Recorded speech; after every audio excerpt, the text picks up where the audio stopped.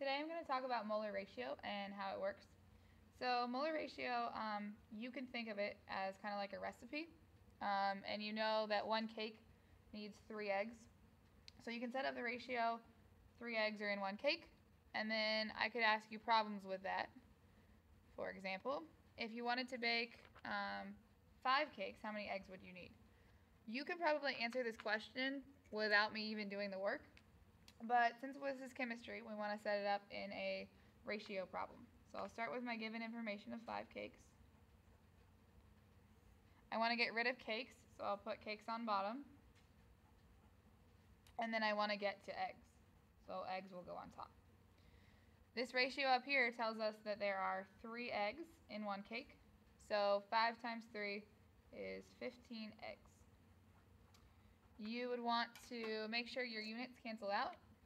And since you have cakes on the bottom and on the top, they do. So that's what molar ratio is, but now we're going to take that and we're going to put it in chemistry words. So 5.5 moles of CCl2F2 are needed. And how many moles of fluorine would you have is the problem. Um, I could ask you for a molar ratio for this problem. And if I asked you for that ratio, the ratio would be how many moles of fluorine there are in one mole of our whole thing, or basically in our cake. Uh, since there's a little 2 right here, we have 2 moles of fluorine and 1 mole of CCl2F2. But that's not what this problem is asking. This problem is asking in 5.5 moles.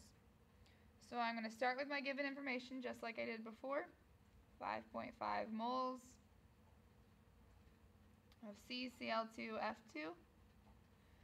And I'm going to try and get rid of moles of CCl2F2. So I'll put it on bottom so that my units will cancel out. And I want to get 2 moles of fluorine. My molar ratio was 2 moles of fluorine in 1 mole of the whole thing. I know that because there's a little 2 right here.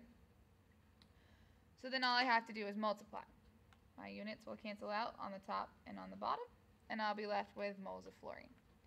So for this problem, you should get 11 moles of fluorine. And that's it. Um, an example problem for you is to determine the number of moles for each element in 5 moles of N2O2. Um, when I say each element, I mean all of the elements in the problem. In this case, we have nitrogen and oxygen, so you would have an answer for each. Um, so I'll give you a second to try that. And then once you have the answer, uh, the work that you should have is 5 moles of your original substance. You want that to go away, so you'll put 1 mole of N2O2 on the bottom, or O5, sorry and then you're trying to get to moles of each element. So you'll have this work for all of the elements in the problem. The first element was nitrogen, and then you'll do the same thing again for moles of oxygen. Um, there are two moles of nitrogen in this problem, and I know that because there's a little 2 right here. And there are 5 moles of oxygen. You know that because there's a 5.